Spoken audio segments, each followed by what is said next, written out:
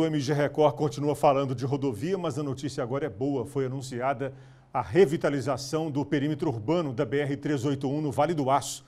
O objetivo é restabelecer tanto a trafegabilidade quanto a segurança dos condutores. Entre as medidas anunciadas está a implantação de uma nova camada de asfalto. Quem passa pelo local encontra dificuldade. Está bem difícil, bem complicado.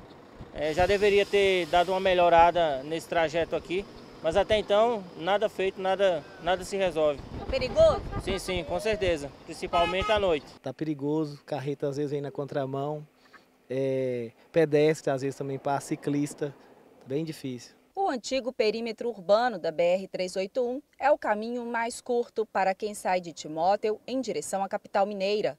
Mas as condições de tráfego estão precárias.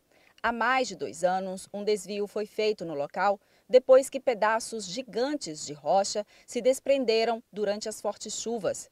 Na última semana, técnicos do DENIT, Departamento Nacional de Infraestrutura de Transportes, anunciaram a revitalização do trecho. A intenção nossa é, de fato, revitalizar com todo o trecho, 6 quilômetros, uma capa nova de asfalto, cuidar desse desvio é, da onde tivemos o deslizamento das pedras e, de fato, restabelecer toda a condição de trafegabilidade, segurança e operação de, do, do segmento. Segundo o prefeito de Timóteo, a administração pública poderá indicar melhorias para o trecho.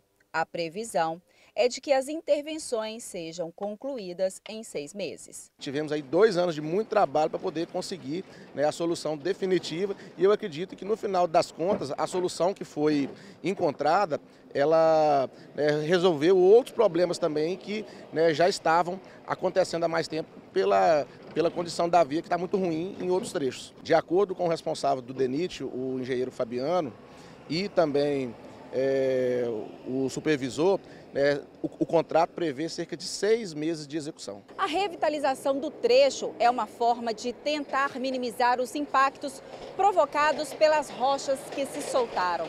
De acordo com a administração pública, ainda há uma outra licitação em andamento para a contratação da empresa responsável por retirar as pedras do local. Há uma segunda licitação que está em curso para poder fazer a definição, é, para poder solucionar definitivamente a questão das pedras que ainda não colapsaram.